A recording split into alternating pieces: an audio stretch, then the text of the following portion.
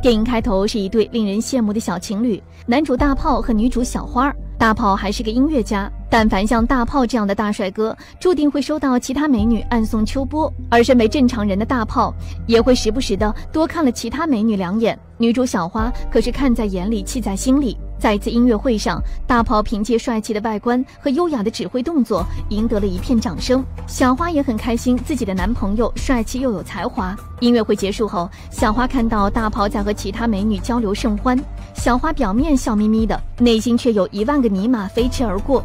但小花还是装作什么也没发生一样，一起回了家。次日，小花突然人间蒸发了，任凭大炮怎么找都找不到。大炮也是很无语，老子貌似是被甩了。大炮从手机中看到小花留下的分手视频后，很是伤心，并流下了悔恨的泪水。随后，大炮来到酒吧借酒消愁，凭借自己忧郁的气质，成功引起了一个女服务员小美的注意。小美最后决定送醉醺醺的大炮回家。大炮起初是拒绝的，毕竟自己刚刚失恋啊。但还是招架不住小美的热情，拜倒在了石榴裙下。看来，快速忘记上一段感情的最佳方法，就是开始一段新的感情啊！大炮开始带小美参观各种音乐厅，来显示自己的才华。两人也是喜欢上了彼此，开始了没羞没躁的生活。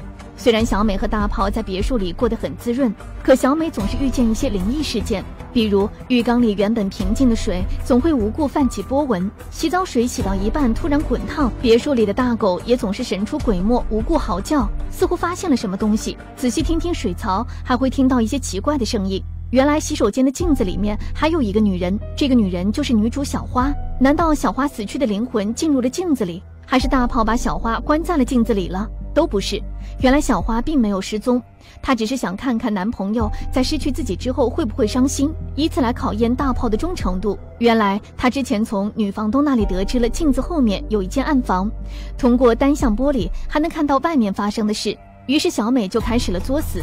当晚，她拍好视频后就搬进了暗房。可刚一关门，就想起自己忘记带上钥匙，真是蠢到了家。无论小花在暗房里如何大喊大叫，外面的都听不到。小花只能在镜子里面生活。这下真的是没看到男朋友伤心，反看到男朋友和新欢在秀恩爱，而且还全程直播。世界上最残忍的，莫过于隔着玻璃看着心爱的人跟别人浓情蜜意了。好在暗房内有一些过期的罐头可以维持生命。而小美也在房间里发现了钥匙，但她并不知道钥匙是干嘛用的。在经历了一连串的灵异事件后，小美终于发现了那个暗门，而小美心里也隐约猜到了事情的真相，但她决定还是不开门，毕竟不想把自己的男朋友拱手让人，这就是爱情啊。过了几天后，镜子后面也没了身影，估计里面的人也死了。于是小美打开了暗门，看到小花躺在床上，就慢慢走了过去。突然，小花直接拿起一个酒瓶砸在了小美头上，然后抢走了钥匙，赶紧跑了出去，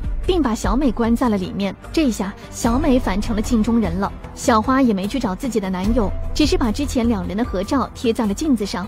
而大炮估计内心是崩溃的，此时的他或许在想：为什么自己的女朋友老是喜欢玩失踪呢？电影也就此完结了。在爱情这场赌局里，没有人全身而退，最后却都伤痕累累。爱情一旦成魔，就会让每个人都暴露出不同的黑暗面。